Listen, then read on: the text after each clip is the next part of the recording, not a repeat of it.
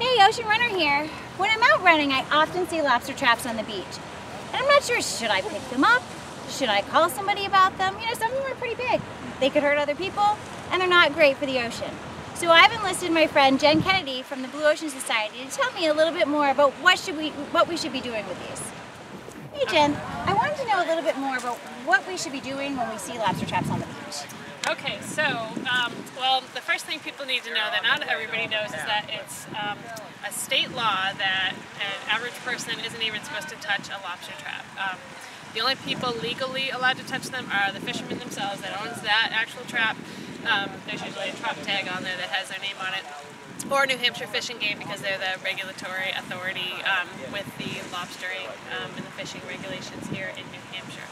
Um, that said, there's also um, state parks, uh, New Hampshire Parks and Recreation has a memo of agreement now with Fish and Game where if it's on a state beach, they can pick up the traps and I think they take them and um, they'll call the lobsterman if it's a still fishable trap or dispose of them or talk to Fish and Game and figure out what they need to do. So if you see a lobster trap and it's on a state beach, um, you can call parks or tell a lifeguard and they would probably pass it on if there's a lifeguard there.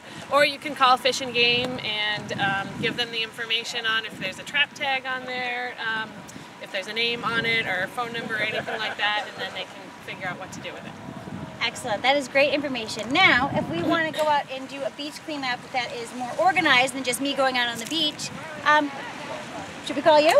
You can call us to do a beach cleanup, yep. Um, or you can visit our website, blueoceansociety.org, or call us at 603-431-0260.